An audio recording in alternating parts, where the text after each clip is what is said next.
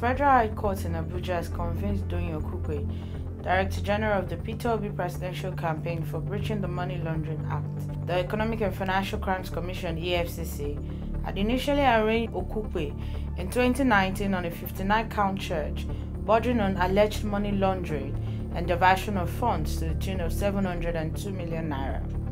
It was arraigned before Ijeoma Ojukwu, the presiding judge, alongside two companies, Value Trust Investment Limited and Abraham Telecoms Limited. Okupe was said to have received cash from the office of the National Secretary Advisor while Sambo Dasuki was in office.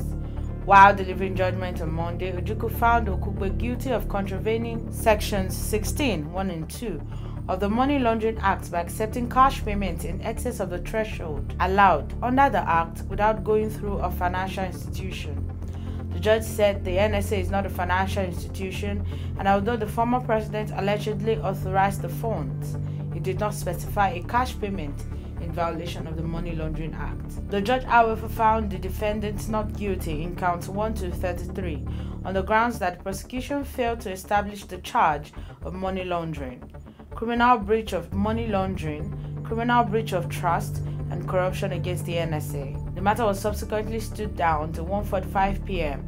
to allow the convict Okupe to call witnesses to testify about his character as enshrined under section 310 of the Administration of Criminal Justice Act. The sentencing is expected to be delivered after the process must have been concluded. However, Hours after his conviction for money laundering, Doyin Okupe released a statement via his Twitter handle where he stated that God is not a man and that the enemies have tried in so many ways but kept failing. Quoting the original statement released by Doyin Okupe, he said, God is not a man. The enemies have tried in so many ways but kept on failing. Victory is of God. Meanwhile, Peter Obi, the presidential candidate of the Labour Party, has reacted to this conviction, stating that the conviction of Doyin Okupe will not demoralize him and that he cannot break his resolve to be Nigeria's president come 2023.